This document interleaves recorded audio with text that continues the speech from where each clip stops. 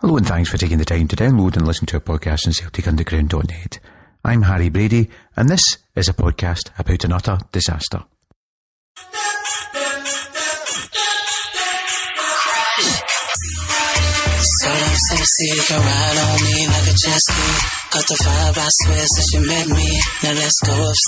I really don't know where to start, end and finish about this podcast coming up, so I'll leave that to myself and a new contributor to the podcast, but regular readers of the site may have seen his blogs about tactics and formations, Mr. Jack Lyons.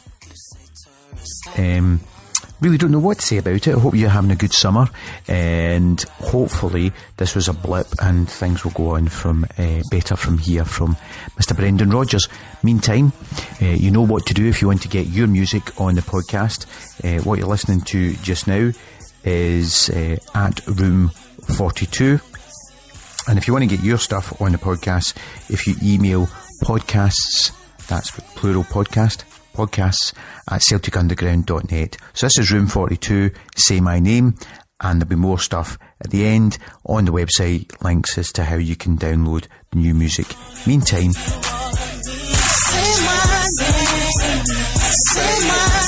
this is me, Harry Brady, with him, Jack Lyons. Look, I can hit it like a home run ninth inning. Las Vegas, my city, hope you like sinning. No preference, love the dark and the white women. Room 4 2 in it if you like stripping. You gorgeous, son like tonight, say let it get on. Feeling kinda naughty. Fluent when it comes to the language. Body, we can speak it to each So I'm uh, joined now by uh, Jack Lyons, and what we're going to do is we're going to just briefly talk on Celtic's 10 0 win over the part timers from Gibraltar, and then uh, talk more in general about Brendan Rodgers. Or at least that was the plan uh, until uh, the worst result in my lifetime. It is my birthday today. I am 46, so my lifetime is 46 years. So the worst result in 46 years at least. So, Jack, what did you think of the game? It was um, it was an unusual start to to Rodgers' reign. Not quite exactly what we were expecting or not even close to it. I mean, after all the build up and all the excitement about the the the the new manager, and it was there was so many things in that game that you can just say, yeah, I remember that under Ronnie Deila. You know, you can say toothless performance and players played out of position. There's uh, certainly one or two comments about that on Twitter, and yeah, not quite what we were expecting as a start. So let's let's try and let's try and uh, calmly look at look at things. First up, you say about players put out of session. What did you think when you saw the starting lineup? I was I was unsurprised. Um, obviously, going by the the lineups that we've seen in the friendlies, that was the same roughly starting lineup that we've seen in the last two games that played about an hour or so. So I was expecting that. Um, first thing that came to mind really was Roberts, obviously, he's been a good signing and one of the most exciting sort of players at the club. And the first few games, there looks like there's not a place for him. Obviously, there's the accommodation of Griffiths and Dembele, which is kind of the, the cause for that. But it's interesting that, that Rodgers hasn't found a place for him in the team. Other than that, wasn't surprised Johansen was out. Rogic seems like a natural replacement in the game. So, so yeah. What, what, what would you say was the the formation that that he that we, was being fielded that started the game? Oh, it was four two three one. It was it was the exact formation that we saw for the last two years. It was Brown and Bitton with Rogic just in front, two wide players coming inside, and and the one up front. It was exactly what what we've been used to, which is it's different from what we've seen in the friendlies, which has been more of a four three three think that's maybe just personnel that you know Johansen is more of a a number eight, so to speak, whereas Rogic is someone that plays higher up the pitch, and so I think that was just the natural the natural move considering the personnel that was picked. So let's go through the personnel. Um, uh, num- number one, Craig Gordon. Any comments about his performance? don't really remember seeing him that much because, with the exception of you know, they they had a bit of a spell in the second half after the goal, but there was not much that went on target. So apart from the goal, we never really had many saves to make. We spent most of the game in their half, so he's probably going to be the guy that gets the least criticism out of the whole out of the whole team, just purely because he wasn't involved. So next up are two fullbacks, Yanko and Tierney. I like Yanko. Yanko's been Yanko's been quite impressive in um, in pre-season, and the same goes for Tierney. Um, not you know weren't great. They weren't standout awful players, but the um, the problem the problem seems to be similar with Yanko for me as that it does with Tierney. Is that they're two guys who are they're good defenders. They're quick. They're strong in one on ones they're decent in the final third, but when it comes to building up play and and when we're in possession, which obviously tonight was seventy five percent of the game, they they struggle. They don't have. They're not excellent technicians. They don't have good, you know, eh, or their their weakest parts of their game are when we're building up the play. Technically, they're not amazing. Their their strengths lie in the final and our defensive third and our attacking third, but in the middle third they don't do as well, and that was generally the case tonight as well. And then from those two, we move in to Efe Ambrose and uh, Sviatchenko. Yeah. I think Ambrose is going to be the he's going to be the, the talking point, isn't he? It was poor poor at the goal, but I think it's it's it's Ambrose, and so if if he's going to play, and he's probably still the best option we've got, given the injuries and the guys that we've got in the squad. He's probably still the best option alongside Sviatchenko. Yeah, I mean, a, a, a lot of people talking about Ambrose playing, um, and and my gut feel about it is, well, Boyata's injured. Um, God, what's his? I've forgotten his name now. The Croatian boy, uh, Simunovic. Simunovic is injured.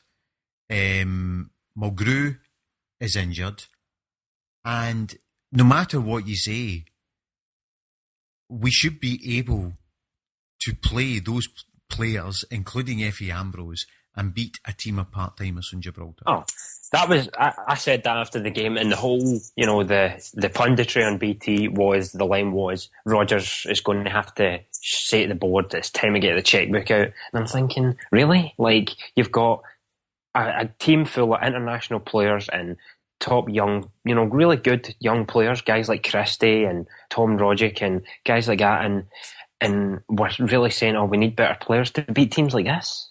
That's I don't think that's the issue, and and that goes for Ambrose as well. As much as he's always got a mistake in him, but but he's he's leaps and bounds ahead of any guy on on their team.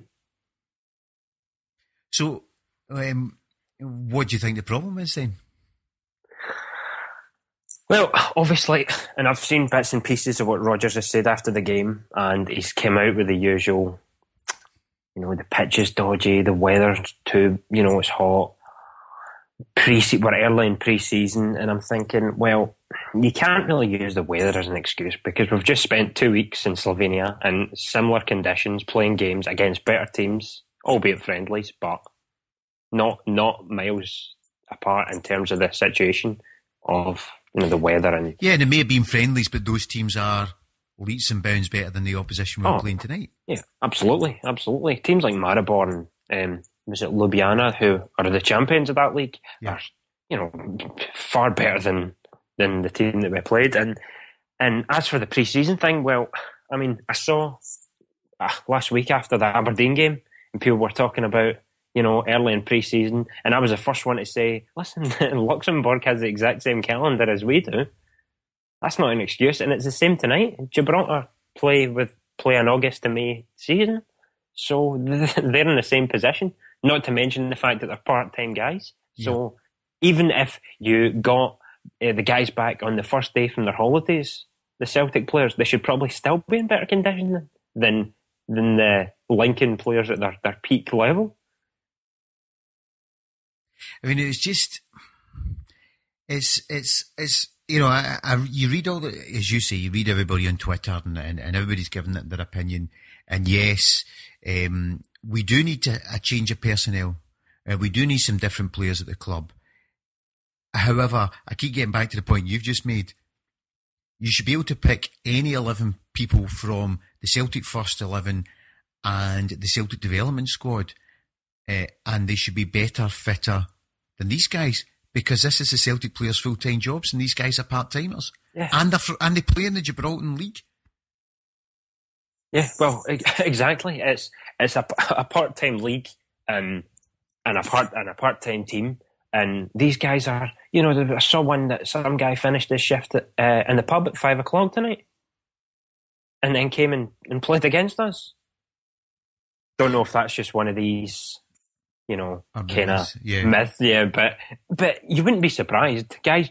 Guys, if they've got jobs, then there's there's every chance that they could be working. And and you think there was a there was a cross that Chris, a useless cross, Christie put in just two three minutes before half time. I remember the exact one. And, and as he ballooned it miles out of nowhere, the camera then panned in on him. He looked like what he is. He looked like a guy from the Highlands who'd just been parachuted into 40 degrees temperature. His face was scarlet. yeah, I know. I, I, I, thought that myself at the time.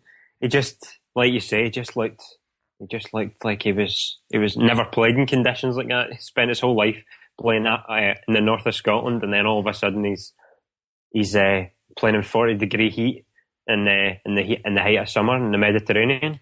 But as you say, he's he's just come off a week to ten days in the same yeah. temperatures yeah, in mainland yeah, Europe. I mean, so Slovenia, they were talking about 30, 30 degrees. They're doing double sessions apparently over there through the day. So there's no excuse for the weather or the, the just being a couple of weeks into pre-season. Obviously, the pitch isn't great, but it's not it's not a good excuse. Like it's not so bad that that it's a, a reason to lose a team like that. Like no, I mean the pitch. The pitch was looked at as slow as treacle, and the heat was horrendous. Um, but uh, I wouldn't expect to be able to pick. I would expect that if I picked a, a junior a junior football team to play on, you know, and people say what that type, that's a leveler. The conditions are a leveler. I would expect yeah. any Scottish junior team to go across there, play Celtic, and get horsed on that pitch in those temperatures. Yeah, of course. Of course. Of course. It's, I don't know. I think we talk about, you know, it, people said the, the reasons I've seen given are, like I said, the weather, the pitch, uh, not being fit, and then we've got Ambrose as a reason. Um, why is Griffiths out wide as a question? And these things are all like when you see Griffiths out wide, for example, in, in pre-season, and it looked it looked not perfect for him, but workable. You know, he, he likes to, it, up front, he's strongest when he drops off onto the right hand side and comes in, and he likes to shoot with his left foot. It, it, it was a decent fit. It was. It reminded me of Stokes playing on the left, where it wasn't perfect, but it wasn't. It wasn't being thrown in as something he couldn't do. It just the the kind of excuses that I seen were kind of not the problems that I seen during the game. Um, but yeah, the problems I seen on the pitch were different to what people were saying after the game. So you, you, you exactly, and and people are understandably, we've watched two years of those same players playing roughly the same system, and we have seen when they've not performed. It's been the same non-performance from many of those players. Um, however, I keep getting back to Someone jokingly said you could have picked 11 Celtic season book holders at random and they would have won this game. now, obviously, that they never saw uh, the 7 to 11 um, Celtic season book holders who played in the foundation um, uh, tournament in, in 19. um, however, the, if the principle of that is correct, then the principle is yes, you can be bemoan the fact that Efe Ambrose has got an excuseism and uh, has got a mistake in him every game, and yes, you can be bemoan the fact that Wise Griffiths playing out wide and Dembele through the middle and, and things like that. But the basic fact is, you should be able to, Celtic should be beating that team if we decide to play Saidy Janko wide right Oh, instead yeah. of as a, as a right back or, or Tierney through the middle instead of as a left back Yeah. because What- they're all better players. Yeah, what I thought when, when people were talking about Ambrose was, and yeah, you know, because it's one 0 and he he makes a bit of a mistake on the. But see, in reality, if the rest of the team perform as they should going forward, then we should probably put four or five goals past them. And if that happens, then we win five one and we raise eyebrows and go iffy. Yeah, I mean, getting back to that, your point there about if the team had done what they were supposed to do going forward, we had, there was, what was it, the stat came up with 10 minutes to go, Celtic had 75% possession. Yeah, Now, I can think of the Chief G header, the Griffiths free kick that then Bitton seemed to take an age to decide he needed to control it and then not able to do it. Can't really think of many other golden chances that we didn't take.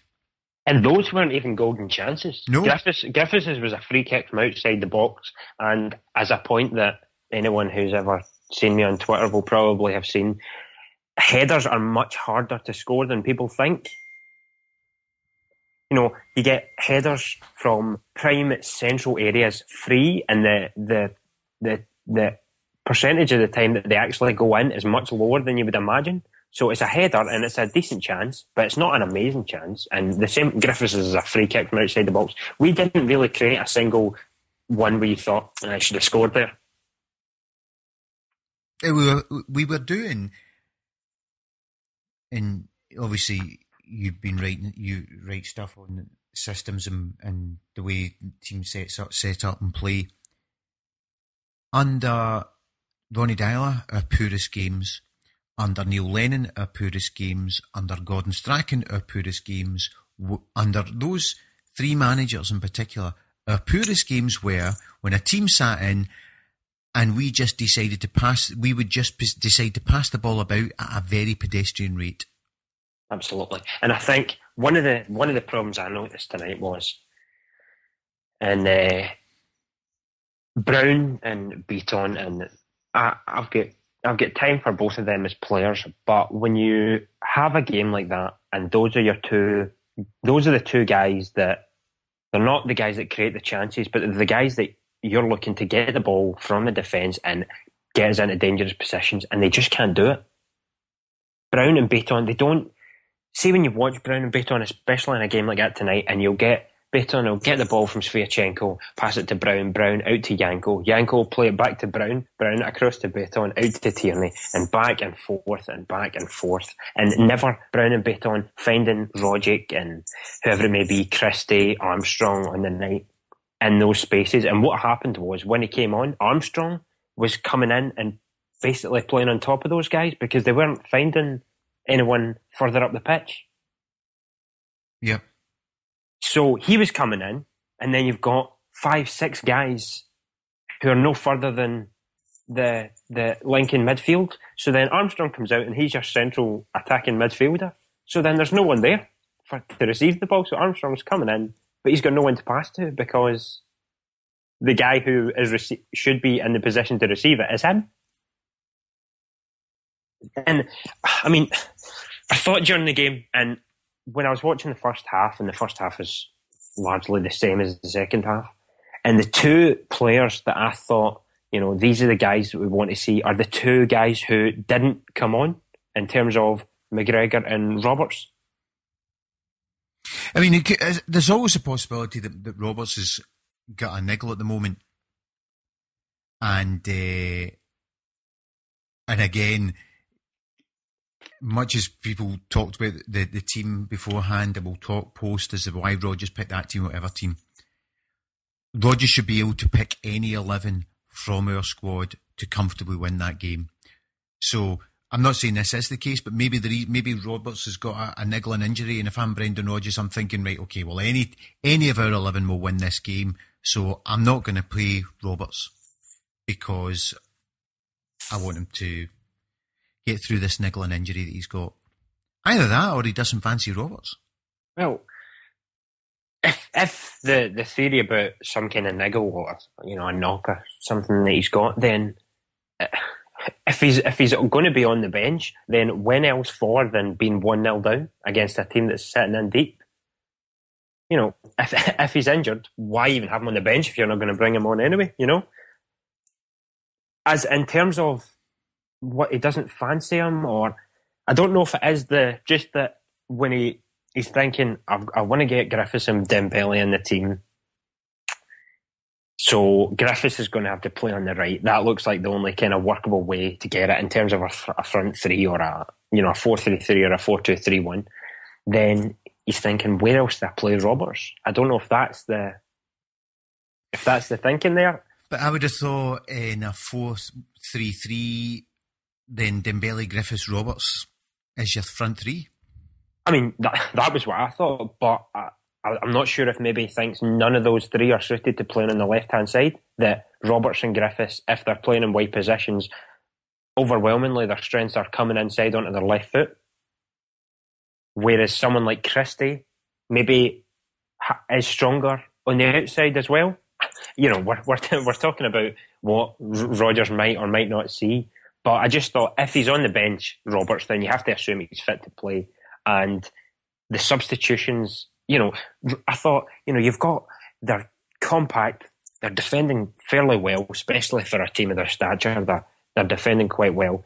There's not a lot of space, and Roberts is one of the best players in small, intricate spaces. You know, Griffiths has got his strengths on the right hand side, but he's not someone who's going to pick it up and, and do something excellent in a tiny bit of space unless it's in the middle of the box. And in terms of McGregor, I thought, like I said about Bitton and Brown and just playing it side to side, when you see McGregor playing deep, and he played deep in all the friendlies, he is the only player in that squad who, in a deep position, will pick the ball up and play through a gap in the opposition's midfield. We are so, so guilty of out to the fullback, back across, out to the other fullback, without ever finding anyone in dangerous central positions further up the pitch. So you commented earlier that it was more or less 4-2-3-1 tonight, yet Rodgers appears to have been playing 4-3-3 prior to tonight. Yeah. Do you have any idea why then he went 4 2 3 1 if he's been playing 4 3 3? Maybe just the, the stature of the opposition. That 4 2 3 1, you've got a, you know, the central player in the three, the number 10, if you like, has less defensive responsibility than either of those two guys in the three would. So it helps you get an extra player just that bit further up the pitch to create something. I think that would be the that would be the the thinking when when I was I've been discussing with people, you know, how things will progress over the season. And I said I thought that that we'll play four three three in Europe, but in games against weaker opposition, we're likely to see more of a four two three one where you take a player who would play in the three and replace him with a more of a an, a number ten you know, a luxury player, if you like, someone like Rogic or Allen, who maybe aren't great defensively, but they they offer more in the attacking third.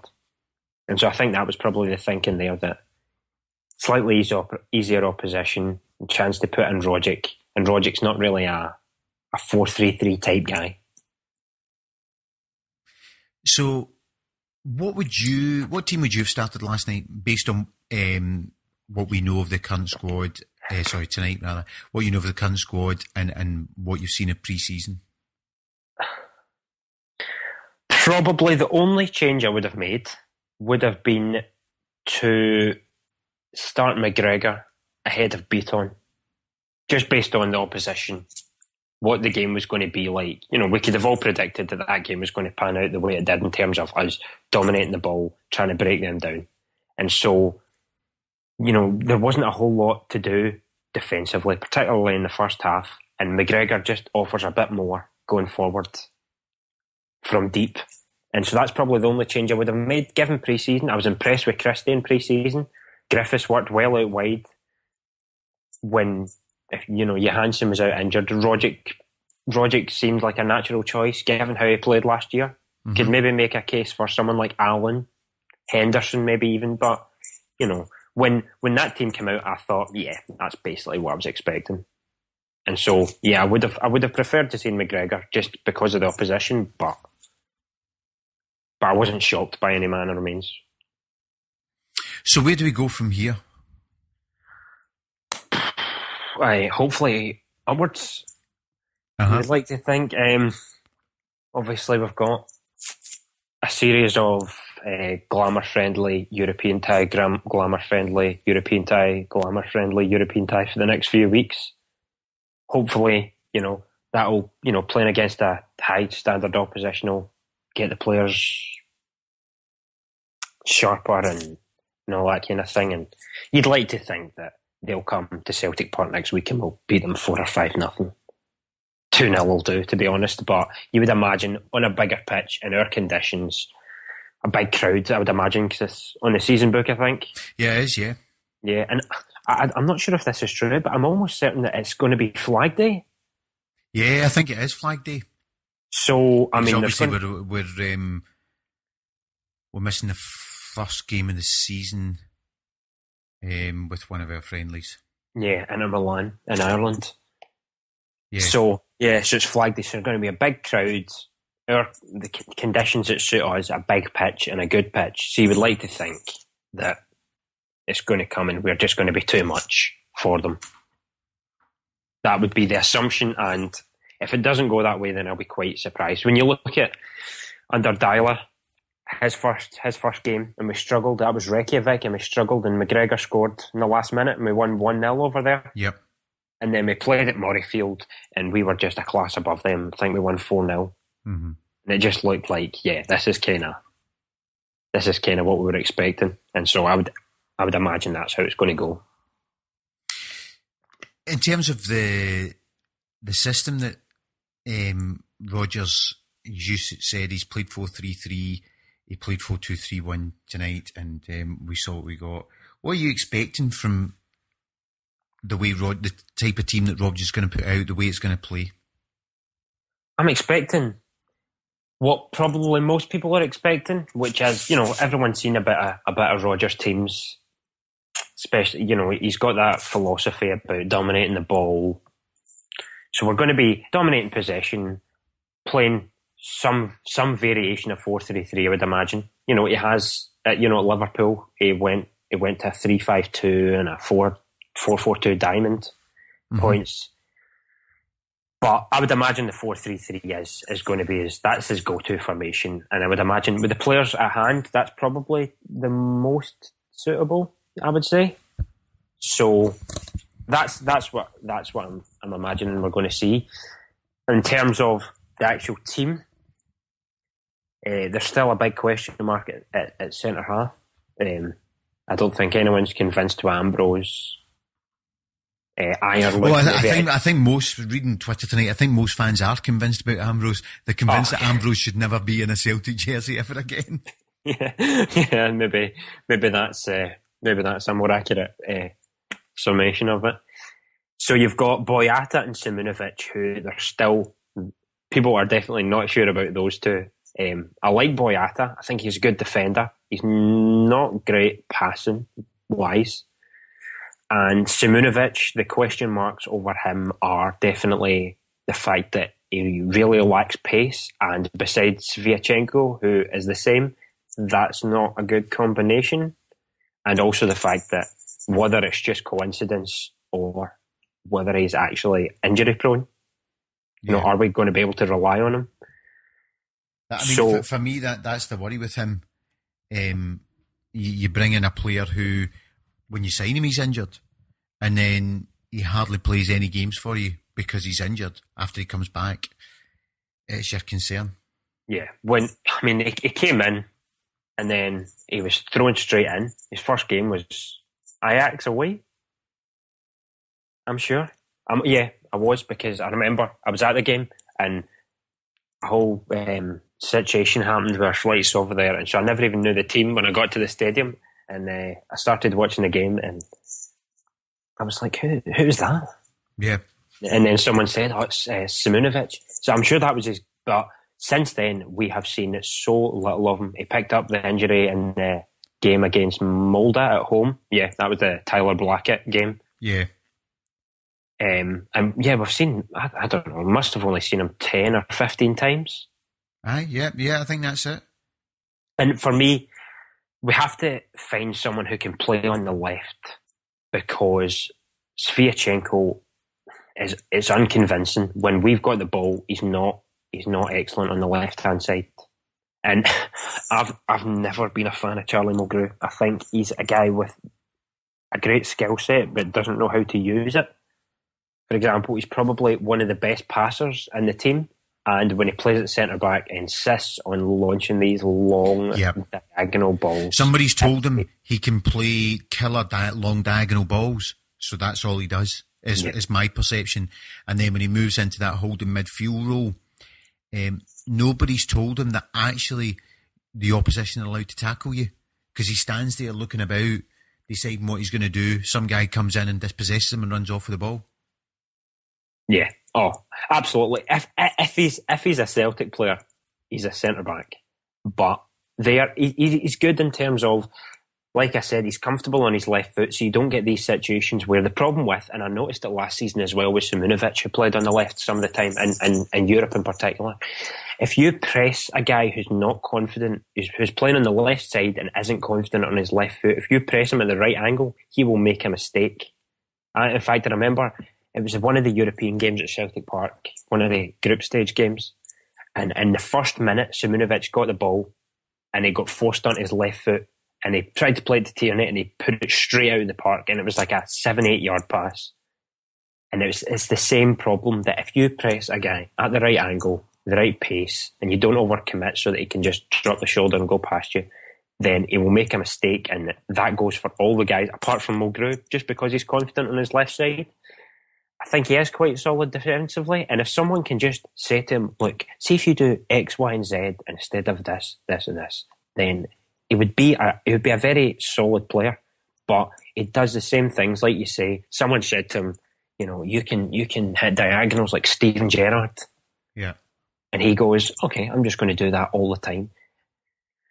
And so, if we're going to bring in a centre half, and there's been rumours left, right, and centre, then he's going to have to be confident on his left. Otherwise, we're going to have a problem in possession at the back. And that's not, you know, when you're starting, you know, if you're building out from the back, then the problems in possession, it's not great that it starts with the first guy who receives the ball. I mean, one of the things that got me was it was starting to look to me as if he was going to go in tonight, right up until the last friendly game. It looked to me as if he was going to go into tonight with Janko, Tierney, Sviatchenko, and Ajer as oh, the yeah. back four. Because Ajer had played the majority of pre-season friendlies. Suddenly Ambrose came in for a game and a half, and then he started. Yeah. Well, I think it was that Ambrose Ambrose was late because some kind of visa issue. I think it was. Right. And so he was training with the development squad and then once he got his visa sorted, he came in. And then he'd only been there a day or two. And then that was when we played the third game. And then he played the last game. So he's obviously come in. And he, Rodgers has just gone, right, it's going to be Ambrose. It wasn't that necessarily that Ajer was being picked ahead of Ambrose. It was that Ambrose wasn't there in the first place. In, in Slovenia. Yeah. And so that's probably why that he's just gone for Ambrose in terms of experience, you know, not necessarily that Ambrose's experience is, is a lot is, is necessarily excellent, but you know, to throw a guy in, he's only what 17, 18, maybe it's a risk. You, you, yeah, but on the other when... hand, he's played played first twenty. I, I understand your point, and I, and I often think that when people have been criticising about you know Ronnie as well, why is he, why is he sticking Ambrose? And you think, well, because actually Ambrose the, Ambrose is, a, is an interesting, and uh, to analyse Ambrose's career be interesting. He's an internationalist. We thought he was doing a great job until the Juventus game. When he because you know, if you remember, Juventus game had been away at the African Nations Cup, and it was all willy won't for Lennon bringing playing playing Ambrose when he yeah. he was only just back and he did. And the, and the criticism of Lennon when, when Ambrose mucked up that night was, well, the guy had been partying for a couple of days and he, he, he shouldn't have played him. Yeah, well, it was the it was the Sunday he played the he played the African Nations Cup final on the Sunday. I'm I'm sure. Yeah, he came he came back on the Monday night, and we were playing Juventus on the Tuesday night. And Lennon put him in the team, and since then it's just been a downward slope. But I saw, you know, when the the rumours about him moving to Leverkusen came out a couple of weeks ago, yeah. and some someone had retweeted a lot of tweets from like the first month that Ambrose signed, and it was Ambrose looks like a more technical version of Wanyama. Ambrose looks like Celtic's own Yaya Toure.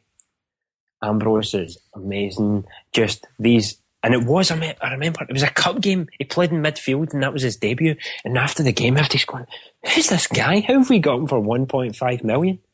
He comes in, he was excellent. That was the season that we made the last 16. As you said, that was the Juventus game. He played in the two games we played against Barcelona when they struggled against our defence. Yeah, I mean, I can remember commenting that the thing that was great about him was because we was defending so deep, his leap from a standing start to make clearances was fantastic.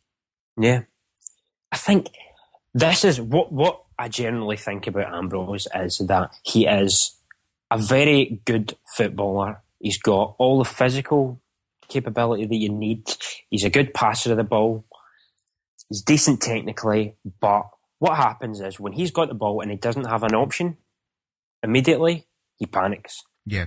And when he panics, he goes, right, I'm going to have to go buy two guys here to make a pass, or I'm going to have to try an outrageous pass. And then he does that. And then as soon as he makes one mistake now, it's, you know, the team gets nervous, the stadium gets nervous Yeah. if we're playing at home. And that, I always think Ambrose is good enough relative to the level of player that we've had over the last couple of years. Ambrose is good enough to play for Celtic, but it's gone now. I Yeah. think it's all in his head. I, Yeah, I th- and, and in, in ours as well, as supporters, that Yeah. as soon as anything happens, you know, like last year he played 10, 10 good games in a row, I remember. And then he made, he made, and it wasn't even a big mistake. It was, he made a slack pass or something and the opposition got in and, you know, maybe had a shot. And after that, the whole game, it was nervous. And then there was the mistake against Fenerbahce last season. Yep. But the problem is that even if he plays good, if he played from now till Christmas, if he made one mistake, the manager would be just slaughtered for playing him. And I often think, Ronnie, I, I can imagine a situation where in training, he's he because patently he has it for a period of time been a decent player for us. So I can imagine where in training, week in, day in, day out, last season Ronnie Deila was looking thinking, but he's a good player. Well, And then he's not been in the team, he's not been in the team, and then we come up with the need for whoever's been playing centre half gets injured or suspended. And I can see the manager thinking, but you know what? He's been a standout in training every week. Patently his problems all in his head, sitting down with him, having a chat with him, getting to concentrate and thinking, I think I think I've got it here. Putting him in the team and he came like we played away to at, at Hearts um, at, at Tynecastle last season, and I remember on Twitter the what he played towards the second half of the season. Everybody saying, and the most uh, the most amazing thing was how well Ambrose played today. yeah. and Then the, the following week goes to Celtic Park and makes a, a mess of it, and everybody says, "Well, what do you expect? He was useless. I don't know why the manager played him." yeah, yeah. It's it's such an interesting. I could talk. I, I mean, I speak to I speak to a lot of uh, you know supporters of other Glasgow teams. Will say, and they slate him, and I say he's never been as bad as people make out. And a case I make is the guy is been capped so many times for Nigeria, who are by no means a bad team. He was, I believe, a player of the tournament or in the team of the tournament when they won the African Nations Yeah. Cup. He has played a good and he's done well playing in the Champions League. He has been picked time and again by Neil Lennon, by Ronnie Deila, and Rodgers has, has picked him.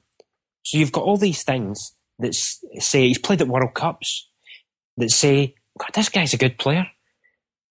So all those things, you think, how does a guy, if he's as bad as we we have him to be in our head, then how does the guy get to that position? To the you know the point where he's doing all these, he's made all these excellent achievements, and yet the overwhelming uh, message about Ambrose is the guy's hopeless. He can't even play football. Yeah, and that's again, and I'm I'm not defending it because I, uh, you know he made the mistake and you know he makes mistakes and he made mistake. He, you know, get booked inside ten minutes and all that stuff. I'm not defending him. All I'm saying is, so in exactly the same way, I can imagine Brendan Rodgers looked at the videos last season and then gets him in training because there patently must be a player in there, or there is a player in there. Looked at him in training and thought, maybe I'm the guy who gets him back to playing the way he played in his first 18 months at Celtic. Yeah.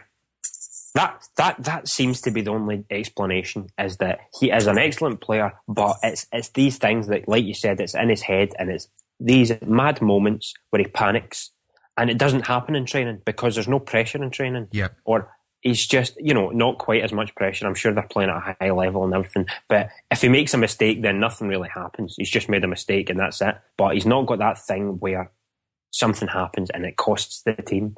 So he's an excellent player in training. He plays to his ability. He probably doesn't panic because he doesn't have that thing in his head. And so every manager he has goes, look at this guy. He's a great player. Like you say, I can maybe get him back to where he was if I just get him, get his head right. And then something happens again. And it's the same thing where, like you say, I think it's, it's in his head now in all of our heads where he can't be the player he was because there's just this psychological thing hanging over him now with, and he, he must know what the fans think of him as well. When he comes on, and as soon as he does everything, and you hear 50,000 people going, uh, uh. Do, do, do, you play golf? I don't know. No, it's just, I play golf, right? And see when I'm playing, if I was to go up, if I was to go, go up the, the course tonight, I would nail every part I had from four feet. Yeah. See if I go and play, was to go and play in a meadow, because sometimes I miss those putts, and I should be sinking them. I know I would stand out, and uh, so if I'm playing my own, I would just walk up and I'll just knock it in. I wouldn't even think about it. So anybody who plays golf will understand this. If I play in a meadow, see if I miss one of those putts inside the first two or three holes, I will miss them for the whole round. Because as I'm standing over every single one of them, I'll be thinking, "Oh, you can't miss this, Brian. The guys are gonna, guys are gonna think you're an idiot."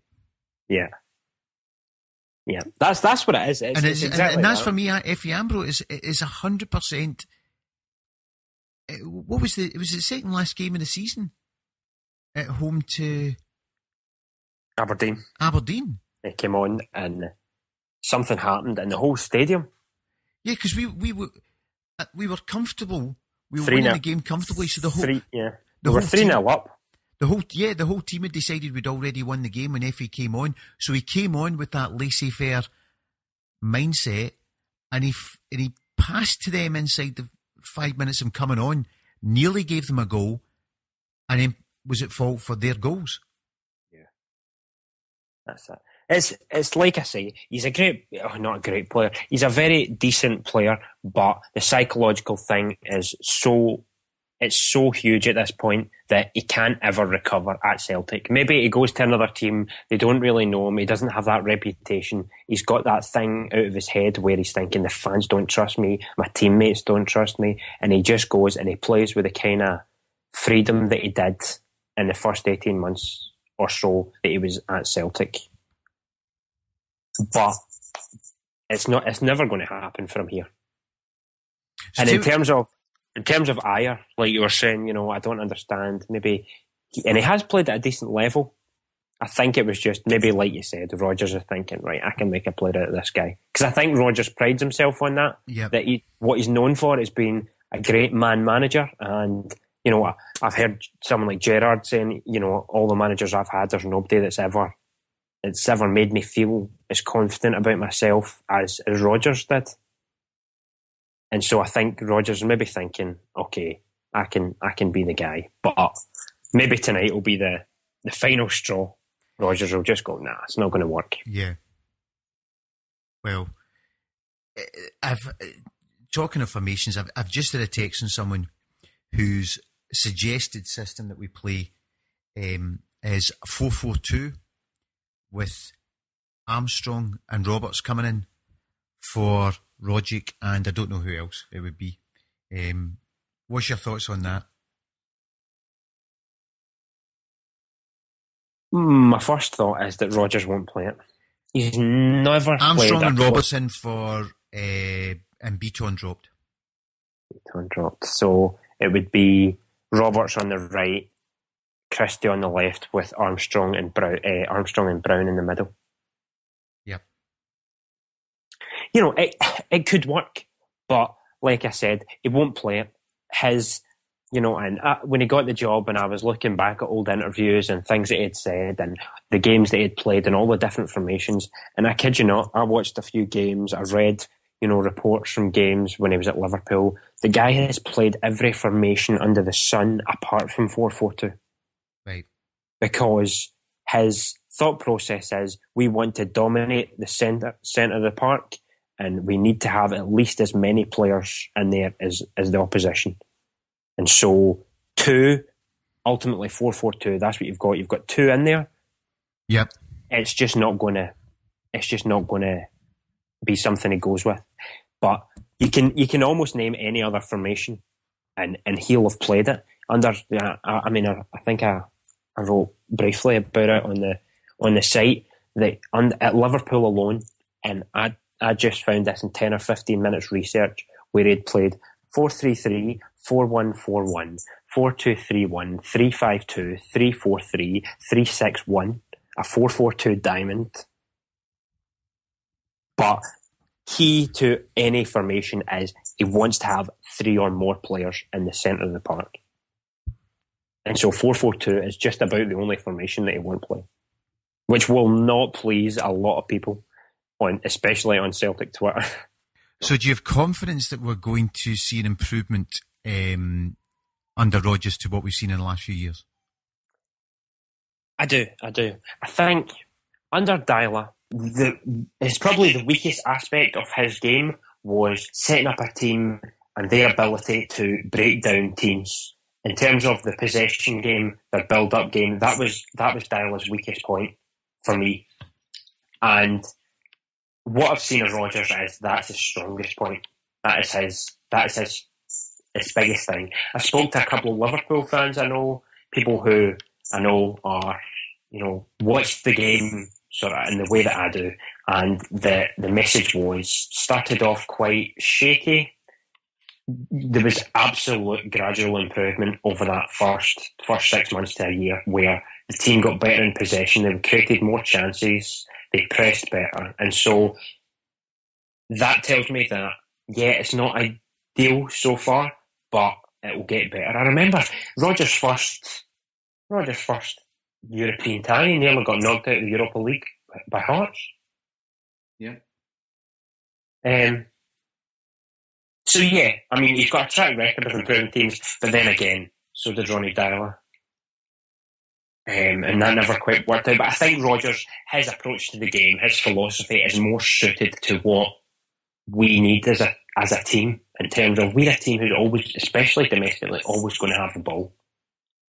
So you need a manager who's good at, at coaching a team, at creating chances, and so Rodgers is just more suitable than than Deila to the team before you even go into, you know, the levels of ability as a manager.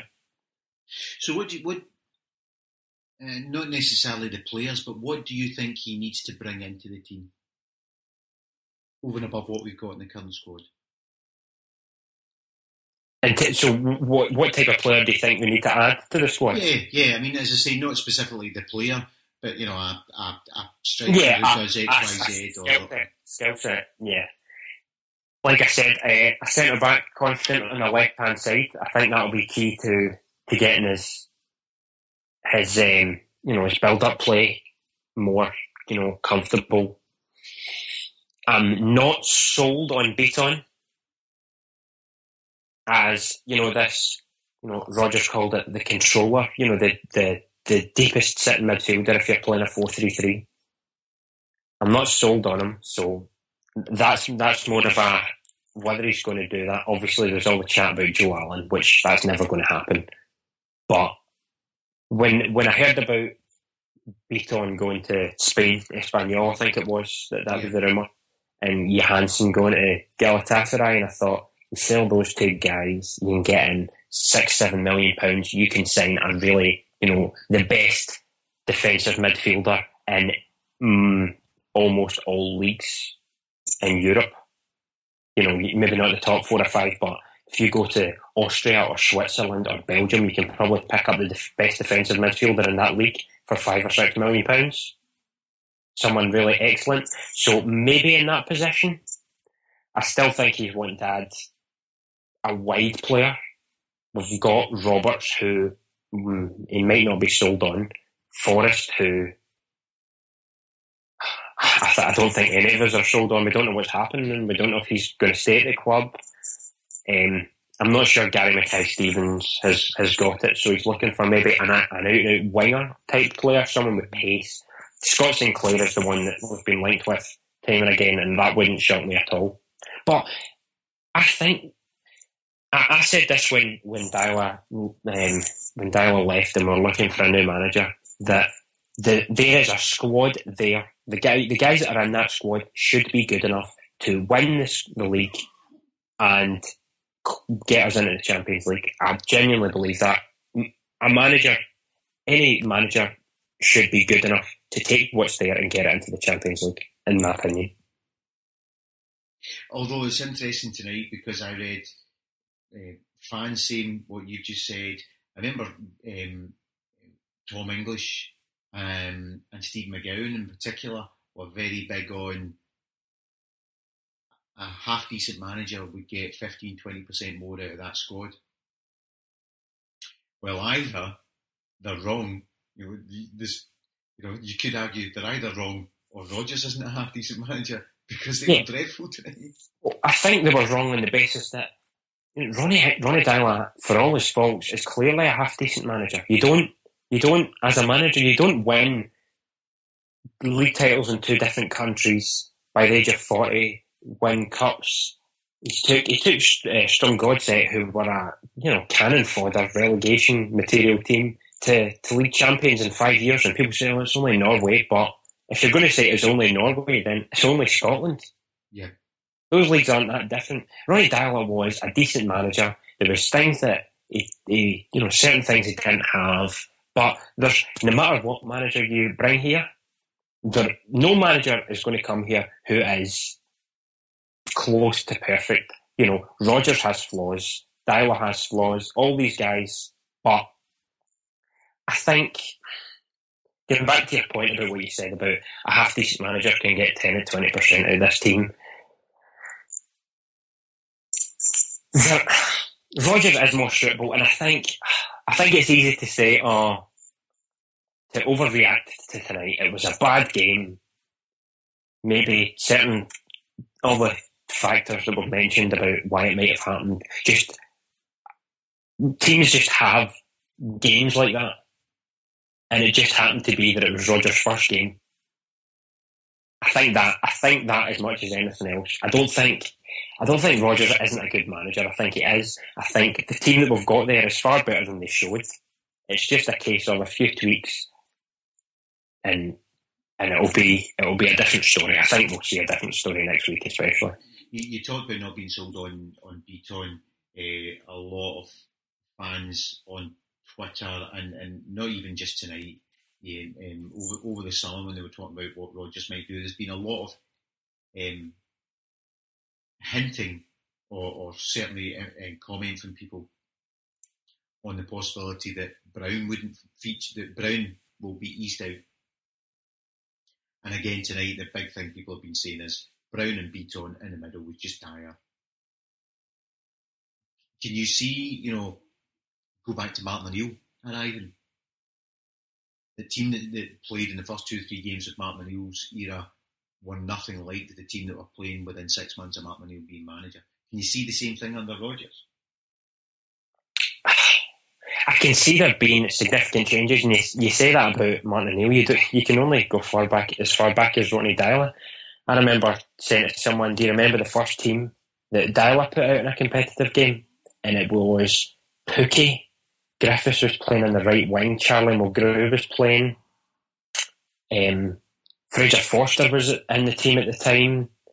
The team that the team that Deila was playing in those qualifiers compared to the team that played against Inter Milan was was entirely different. And I can see that. I mean, you, you talked about Brown there, and I just don't see it. I mean, I looked at I looked at the way that the way that Gerrard and how he dealt with that. Who was Gerrard was much in the way of Brown, the captain. He was a big figure in the team. Not you know he doesn't have the same status with the Celtic fans as Gerrard did with the Liverpool fans, of course, but he was he was on the road out, and Rodgers stuck with him and tried to get the best out of him. And so when people said about Brown, and I was thinking, yeah, maybe, but I don't see it happening. So Brown, we'll we'll keep seeing. But yeah, I think there is. I think there is. You know, a, a lot that six months down the road we could be going. You know, remember the team he put out against Lincoln? God, where are those guys? In terms of probably Efe, maybe Bitton. I don't actually see Rogic having a huge role under Rodgers. He's too slow for me. Yeah. I, I, keep making the point. Rogic will come on in a game with 15, 20 minutes to go and look great, and everybody will marvel at him. This was last season, obviously. He will then start the following week and be substituted after about 50 minutes, and you could have really substituted him after 20 minutes because he was anonymous. He seems to be a player who, when the game is already stretched and he's got time and pay, and, and space, he can utilise that. Uh, for me, he just not he's not got the pace to be the player that people think he can be. I think I think in domestic games at Celtic Park in particular, I can see him playing those games. But see when it comes to European games, where when Rodgers is looking for pressing from the midfield, Rogic isn't the guy. And especially Rogic isn't the guy when you've got Bitton in the team who's got similar problems in terms of mobility, albeit in a, in a deeper role. But when you've got a midfield three, if you've got Brown, eh, sorry, if you've got Bitton and Rogic there, then it's slow. It's very slow. Yeah. Yeah, I, I thought that when, when people were saying, when Rodgers came in and were saying, you know, 4-3-3, and I'm thinking, where is, where is the role for Rogic? Because Rogic can't really play in a 4-3-3, it's too deep for him. He's really, Rogic is a, the Riquelme type guy, a kind of lazy number 10. He's not going to provide you much in the defensive side at all. 4-4-2 with a, in a diamond? Four? Yeah, I can see that working. I can see that working for him. But yeah, that's that's possible. But I think my point would be then that if he's going to play a diamond, I don't think Rogic would be his first port of call. I think it would probably be Christie, just based on the fact that Christie's played yeah. more than more than. Someone someone mentioned the other night about Roberts maybe playing that role. The thing I've noticed in pre-season is how much game time Christie's had. Yeah, and I've been impressed by him. I think he's been good. And absolutely, you can see that. I, um, and I said before about how you know you thought maybe the front three would be Roberts, Griffiths, and Dembele, and that I said maybe none of those guys suit the left. And Christie is probably at this point in time the best option we've got on that side. And Rodgers obviously agrees, given the fact that he's picked him. And I, you know, I think he, I think he does, he does add a lot. He's clearly a, a skillful player, but he doesn't have that well, I mean, I heard Rodgers talking about Scott Allan, who, you know, we've heard plenty about Scott Allan about how, you know, he developed this kind of mythical sense of the fact that he was an unbelievable player just by not playing. Yeah. Um, but Christie has the skills that, that Allan doesn't. I heard Rodgers saying, you know, Scott Allan's an, a really intelligent, a really uh, talented player, really good skills. He's good, good energy in the pressing but we need to educate him as to how to play the game. Which is similar, actually. I remember having a bit of a debate with St Anthony um, on, on, Twitter when um, Ronny Deila said Scott Allan needs to learn that not every ball needs to be a forward pass. Yeah. St Anthony was criticising because we don't make forward passes. But, but I understand it. If, if, say, for instance, Scott Allan makes 10 passes in a game, all of them are forward and nine of them go straight to a defender who then goes, yeah. they then come back up the park and attack against us, then Yeah, the, to, the, the, to- the forward passes were a waste of time. yeah, to St Anthony's point, and of course it was right to an extent that we didn't play enough forward passes, but the the remedy to not playing enough forward passes is not too many forward passes. Yeah, and and so by the sounds of things, both Ronnie Deila and Brendan Rodgers are saying the same thing about Scott Allan. He's got an ability to do something. We just need to get him to understand he doesn't. You, you, there's there's different balls for different occasions. Yeah, uh, decision making in the right situation, how when to play the pass, and you've seen. I mean, I remember it was Ajax the game, and he came on, and we never really done much, and he came on, and the first pass he played was an incredible pass.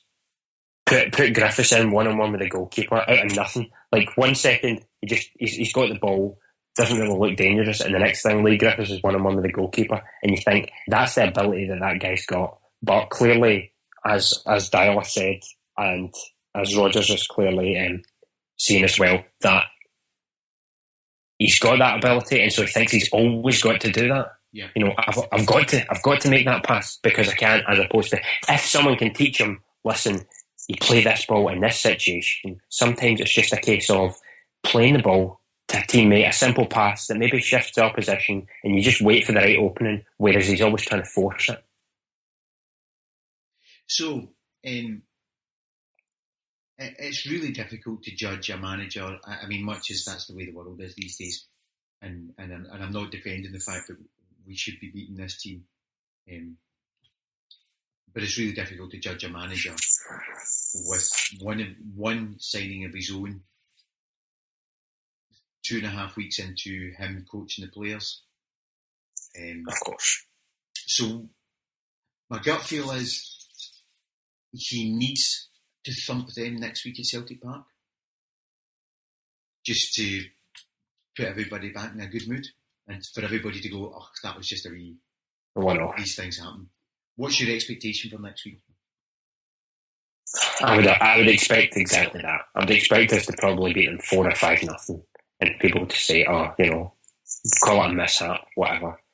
So the conditions, the situation, just never went for us, and it never happened. I don't see it being a struggle.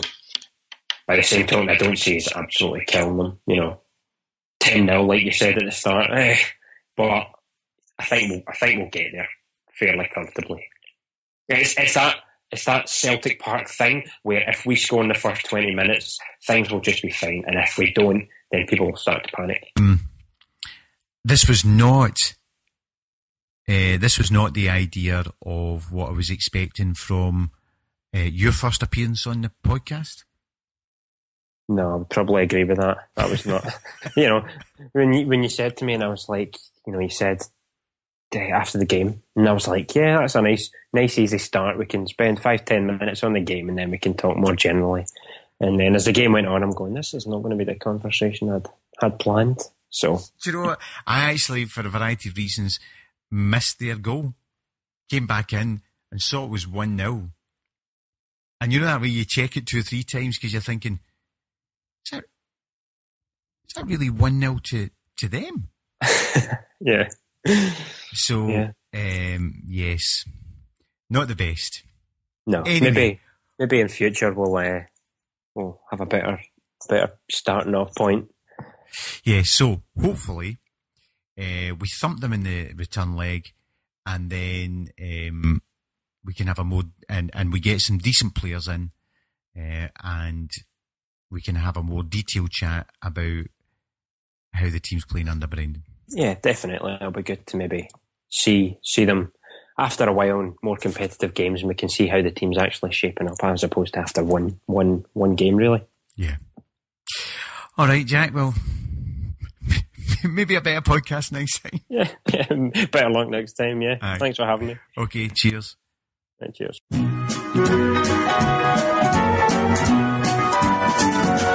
Bring me sunshine in your smile. Bring me laughter all the while. I hope you enjoyed that podcast. As I say, if you've got uh, new music that you want on the podcast, then it's podcasts at celticunderground.net. It's podcasts at celticunderground.net. If you want to get your Celtic story onto the podcast, whether it be the game you, you remember best, the game that is most horrific in your memory, the game you missed that you should have made, whatever the story is, the game that really matters to you, then uh, you can write it down and email it to us and we'll have it narrated, or you can send us an audio file again to podcasts at celticunderground.net. So that was the podcast of the utter farce that was the Gibraltar game. Um, we have the Celtic Underground top 10.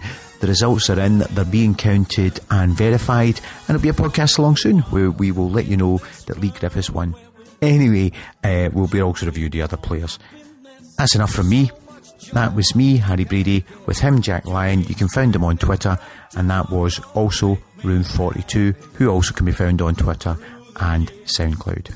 This is me, Harry Brady, saying good night and God bless. Good night. Let your arms be as warm as the sun from up above. Bring me fun, bring me sunshine, bring me love, sweet love. Bring me fun, bring me sunshine, bring